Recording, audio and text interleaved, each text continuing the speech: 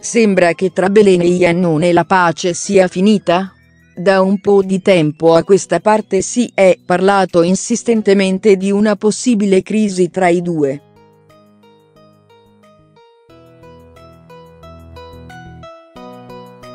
La showgirl e il motociclista hanno passato insieme le loro vacanze ad Ibiza, anche se in case differenti.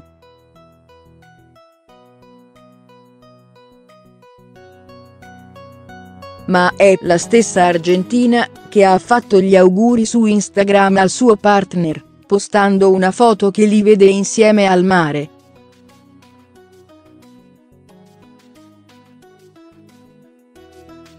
Feliz cumpleaños a te, e che ogni cosa possa essere come tu desideri, meriti tutto il meglio di tutto, già sai, aperte virgolette.